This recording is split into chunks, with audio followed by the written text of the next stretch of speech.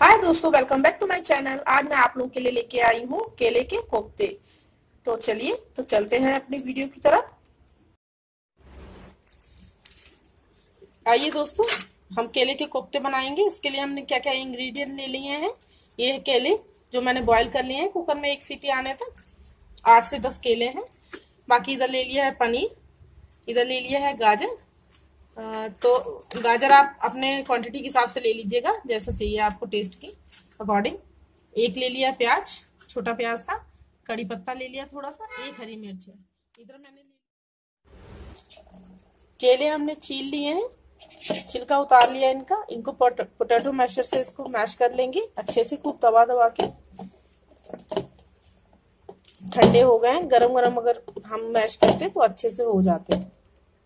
इस तरह से मैश कर देंगे सारे। ये देखिए, मैंने पोटैटो मैशर से इसको मैश कर लिया अच्छे से। ये जो सारे इंग्रेडिएंट दिए हैं हमने कोफ्ते बनाने के लिए, ये सब इसी में है। इधर डालेंगे सारे सूखे मसाले ड्राई मसाले जितने हैं। नमक डाल देंगे थोड़ा सा आधा चम्मच नमक डालेंगे। थोड़ी सी लाल मिर्च डालेंगे। डालेंगे आधा चम्मच गरम मसाला। डालेंगे धनिया पाउडर, आधा चम्मच। आधा चम्मच डालेंगे हल्दी पाउडर।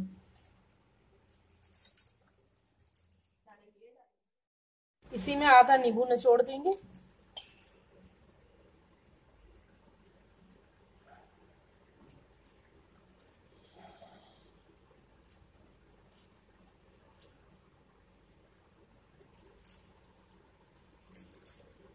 थोड़ा सा डालेंगे धनिया।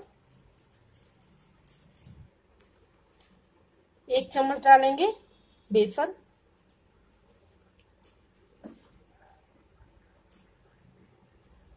एक से डेढ़ चम्मच डाल देंगे बेसन। इससे ज़्यादा नहीं डालना, नहीं तो ये कोफ्ते हमारे टाइट हो सकते हैं। इनको मिला लेंगे।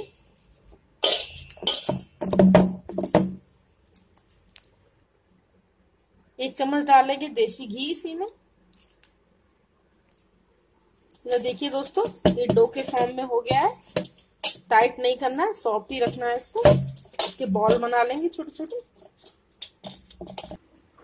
डो हमारा तैयार है। इसको रख देंगे साइड में ढक के।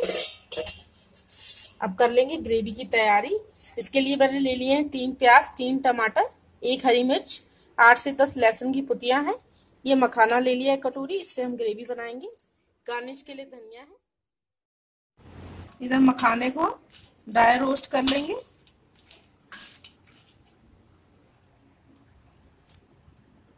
एक चम्मच डालेंगे तेल। तेल हल्का गर्म हो गया है, इसमें डालेंगे जीरा। ग्रेवी की हम तैयारी कर रहे हैं दोस्तों।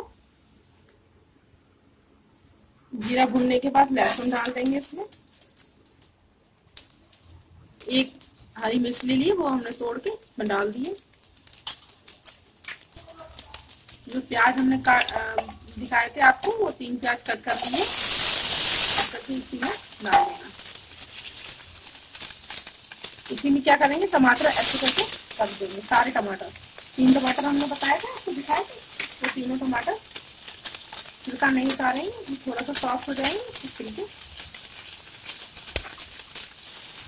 थोड़ा सा डालेंगे नमक।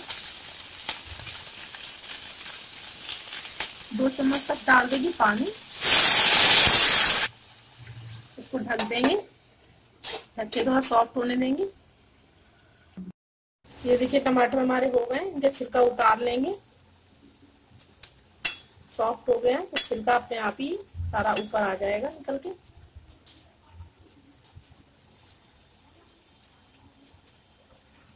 सारे छिलके ऐसे उतार लेंगे। ये देखिए, सारे टमाटर के छिलके उतार लिए हैं। सॉफ्ट हो गए हैं।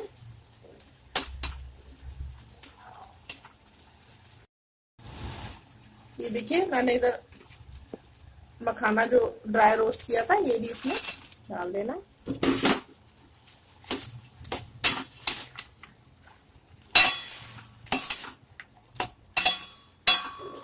सॉफ्ट हो जाएगा, इसको ढक के पका लेंगे थोड़ी देर और।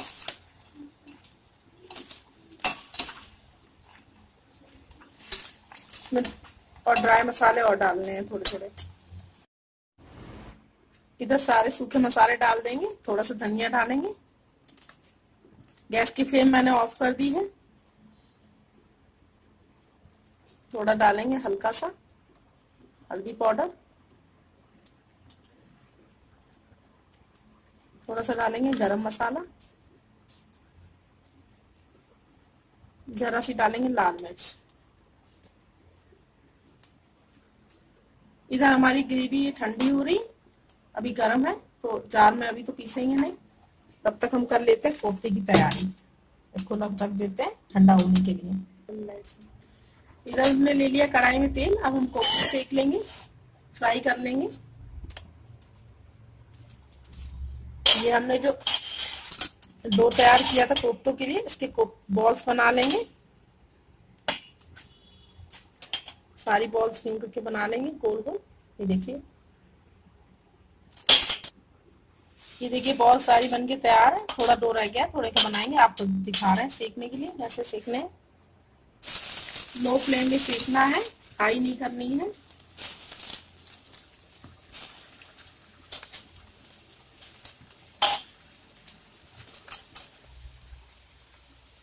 सारे कोफ्ते इसी तरह से फ्राई कर लेंगे गोल्डन ब्राउन होने तक।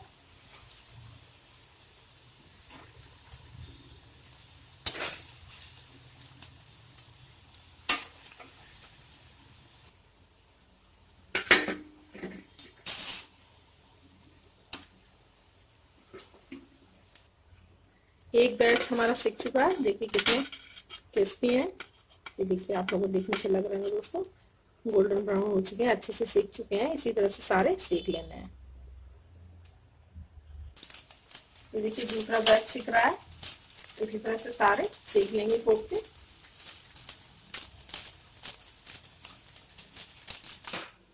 तब तक हम अपनी ग्रेवी तैयार कर लेते हैं। ये हमने ले लिया है एक टुकड़ा पनीर का।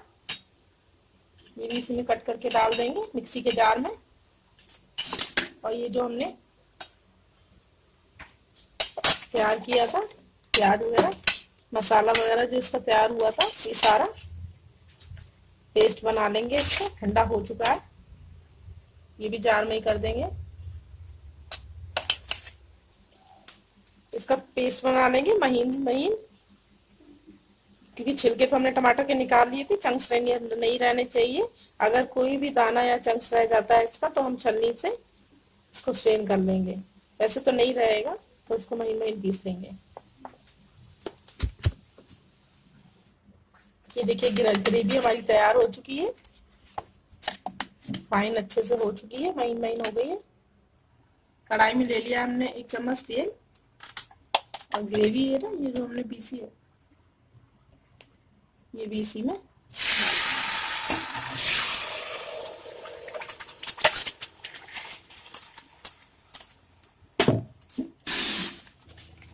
देखिए, अच्छे से ग्रेवी हमारी बन चुकी है। इसमें क्या करेंगे? ये हमने जार में पानी ले लिया है, इसी का मसाले का।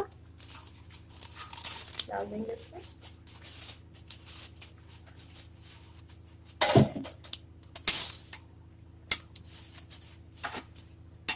इधर डाल देंगे एक चम्मच कस्तूरी मेथी, हाथ से मसल लिया है। थोड़ा सा डाल देंगे चीनी के दाने। रख देंगे इसको।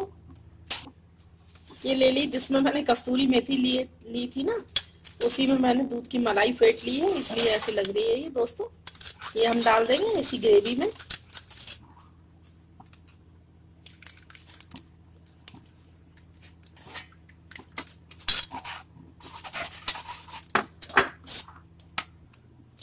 ढक के बॉयल आने देंगे।